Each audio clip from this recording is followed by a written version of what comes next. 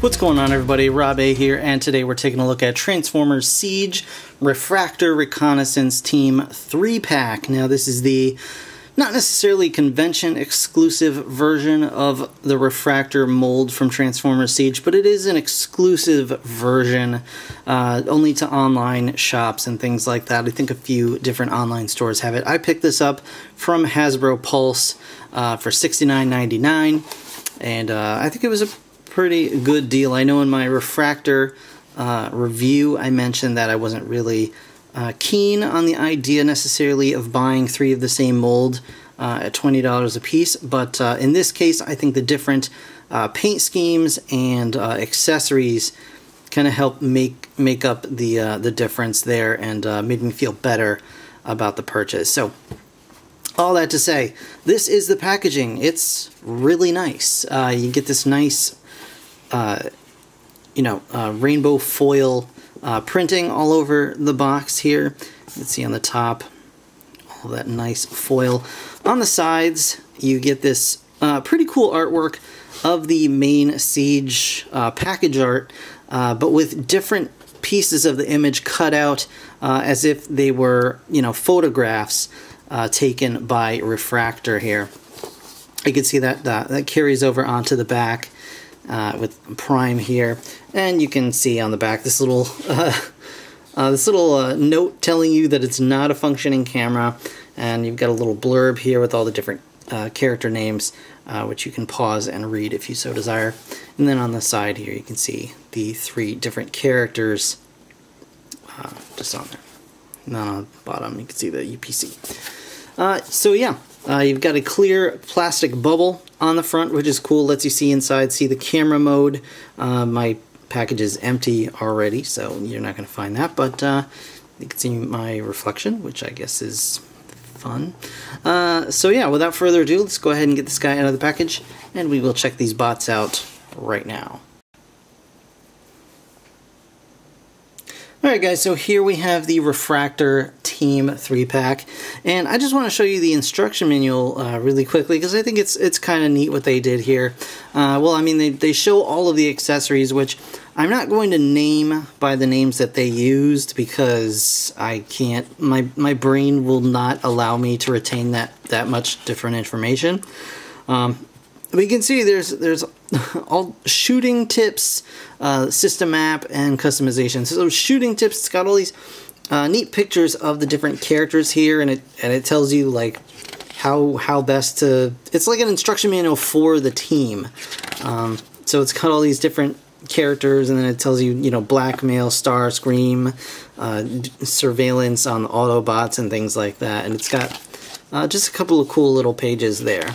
Um, then it shows you the different characters and their components and shows you all the different uh, uh, power levels for all the different uh, different components here.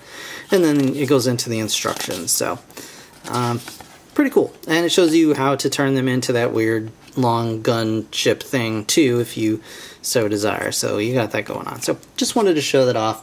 Here is the camera mode and let's take a quick look at this accessory. First we've got Kremzeek here. Little Kremzeek. And he's he's fine. I mean, he's nice little sculpted Kremzeek. Um, for those of you who don't know who Kremzeek is, he's like a little electricity monster created by the Decepticons, and I don't remember much else beyond that. Uh, the episode was really annoying for me to watch. I did not enjoy it at all. So I don't really remember that much about Kremzeek, but I remember uh, I'm not the biggest fan. But you do get a little guy here, and he does have some little peg holes in his feet, so you can uh, stick him onto whatever whatever posts you would like for any of these uh, any of these blast effect accessories. Uh, so, you know, you got that going on. So there's Kremzeek. There is a little peg right there, and he stands on that quite nicely. So you've got that going on. So here is the camera mode for the Refraktor team. And uh, as you can see, it's maybe a little bit cheaty, uh, but at the same time, it's it's very much reminiscent of the G1 toy set. So uh, I think in that way, it kind of gets away with doing some stuff that normally people would be not too fond of, but so you've got this big piece right over here, uh, the shutter guard shield or whatever. Uh, you got this bit up here, the viewfinder, um, and you can see the back of the camera mode as well. You've got all three of these figures do come with one of the uh, one of the little circle jobbies, so you can attach them to all three if you so desire you've got a you know little button up here. It doesn't work, which is kind of a shame.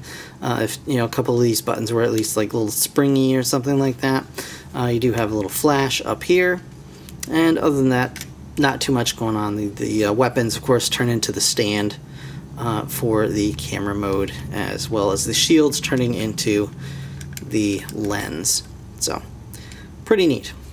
So we've got uh, Spectro, we got viewfinder and then spyglass over here. And uh, it's it's a nice solid camera mode. Like they're just held together by simple pegs. There's nothing like locking them together uh, but it's very solid. There's nothing shaking or loose or falling apart here. So very pleased about that. Um, yeah. So really cool. Alright so let's go ahead and get these guys into their robot modes we're just going to detach this here. And if you have the original refraktor figure from Siege, you pretty much know what to expect as far as transformation goes. It's very simple to get these guys into the camera uh, mode transformation and out of it uh, subsequently. So we're just going to remove all the extra pieces here. Uh, this piece is actually going to slide forward and come off. You can see there are little uh, tabs here. They're going to slot into these bits on the robot mode shoulders here. As far as this goes, you want to go ahead and pull this section forward and then it lifts up and then it's a lot easier to unpeg from the top there. And this turns into a shield of sorts if you uh, if you want it to. Uh, but we'll just put that off to the side for now. So this is the basic super basic camera mode. You you know if you've got just the uh, three of the regular refraktors, this is what you're going to end up with, and it's still a decent camera mode. It's pretty much just a brick with a you know with a lens on it, and you can of course plug the stand into it as well. So I think the accessories do add a lot to the figures, but or to the camera mode as a whole, and and to the individual figures as well. Um, but you know, it's not really necessary, I guess. Uh, you can still get away with it if you just have the three refraktor toys. Um, but like I said in my refraktor review, I do like, uh, I do feel that it's a little bit more worth the money to have the accessories and make it look a little bit more like a, a legit camera. So anyway, we're just going to unplug this whole section and it's just going to explode. And we'll put those to the side and then we've just got this brick. And again they're just pegged together. Uh, you can even see the connector points. You've got a peg here hole here and a peg here. And you've got that on all sides of all the figures. So you can combine them any way you choose but this is the most G1y way to do it. And it's super solid. So we're gonna go ahead and unplug these guys. And Spectro here is a tiny little cube brick. And we're just going to go ahead and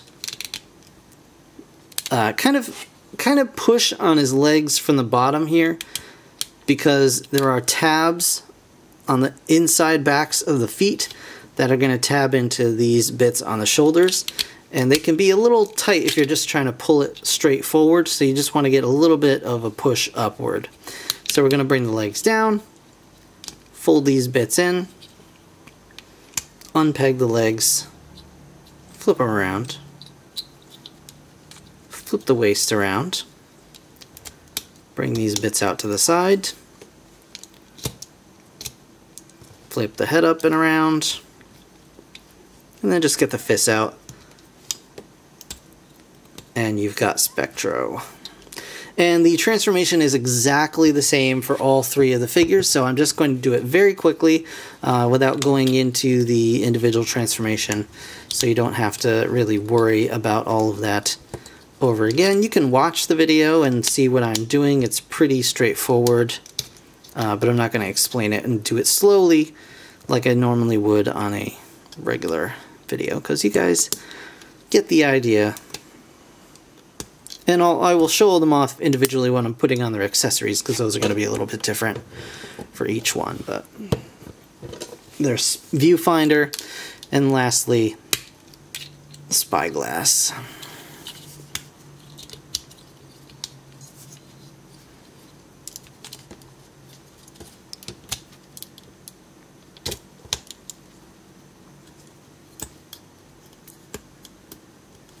And let's just get his and get the head up here. Spyglass is a little tighter than the other two, and I think that's just because of the metallic paint all over his body, which is not a complaint. He looks really, really good. Um, but it does tend to make him a little, a little tighter in the joints and stuff, trying to just get him transformed. So there you have the three robots, uh, pretty much naked of their accessories, but you, you can get an idea of what to expect here. And then you can take uh, this bit here, and the instructions have it like on his shoulder, I guess, sort of a deal. Um, I'm not exactly sure how. Um, so it's kind of, I don't know, sort of like that, I think, as like a, a shield. Don't, I don't know. I don't know how much I like that. Um, so what you can do is kind of put it sort of, I don't know, just whatever whatever works for you. It doesn't really doesn't have to be perfect. Um, I had I had a way that looked pretty good before, but I can't remember exactly. Um, whatever. Uh, so you get this bit, and you can kind of use it however you like. Maybe I put it in this hand. Yeah, there we go.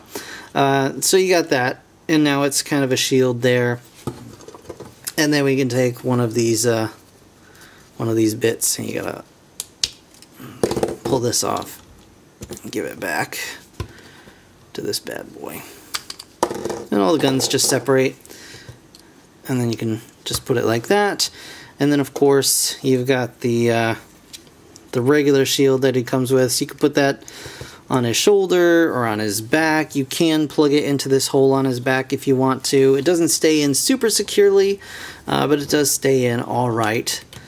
And uh,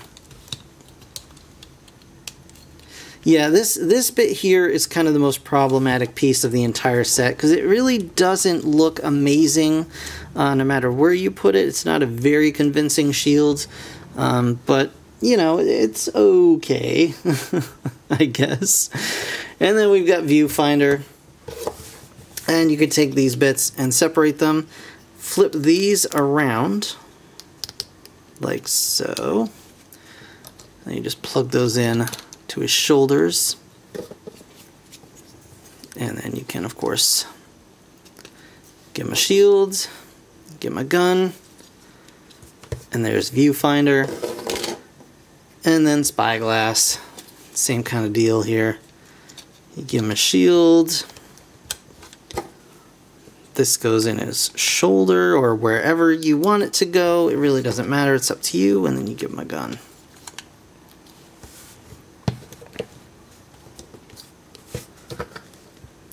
And then there you have the entire team ready to go.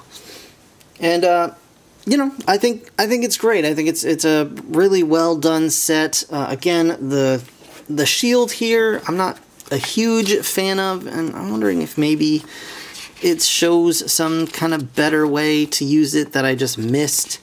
Um, but yeah, not not really.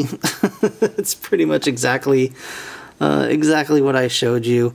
Um, just flipping it around his back, which completely limits the movement of his arm uh, out to the sides. So I wouldn't necessarily recommend that, but uh, yeah, it's okay. It's all right. Um, either way, uh, really nice set overall. Uh, very easy to transform back and forth, which I really appreciate. And we can even scoot these guys over and show them off with Siege Refraktor. So if you wanted maybe a more uniform looking camera mode, you could even omit uh, Spectro here for uh, you know Refraktor uh, and kind of get that more bluey purple throughout the entire thing. Um, but overall, I think it's a really, really nice set. Um, they all look good together. Uh, they look good individually. Uh, the refraktor toy itself, the mold, is a really cool figure. It's a nice, easily uh, playable figure. It's a good like desktop kind of fiddle with figure. Um, and I do like the accessories. Even Kremzeek, who, you know, whatever. so if you're a big Kremzeek fan, you can go out and get this set. Uh, but I think the asking price is very much worth it since it is the three molds uh, with new colors, with really great. And I, you know, I failed to show these guys off very, very well individually, but I didn't want the uh, the video to go too too long. But you can see really nice metallic paint job on this guy, uh, all the way around his back, and uh, just looking really, really snazzy. Uh, this guy's got a different different paint scheme and his little uh, spyglass area there. And just just really well done for all three figures. Uh, nice paint paint work, nice paint applications. Uh, and yeah, the accessories are cool too. Uh, even this bit, which really only serves to make a more convincing looking camera, but I think overall it works for the most part. So yeah, yeah, yeah. I think it's a good set it's up to you whether or not the uh, the asking price is worth it because you can just go and get three of the refraktor figures and have it for you know 10 dollars cheaper, fifteen dollars depending on you know shipping and whatever. So anyway, that's going to do it for this review, guys. I want to thank you so very much for watching. Uh, as always, if you enjoyed the video, please hit that like button. It really does help me out. Of course, subscribe if you want to see more. Uh, but in the meantime, thanks again for watching. I'll see you guys in the next one. Bye for now.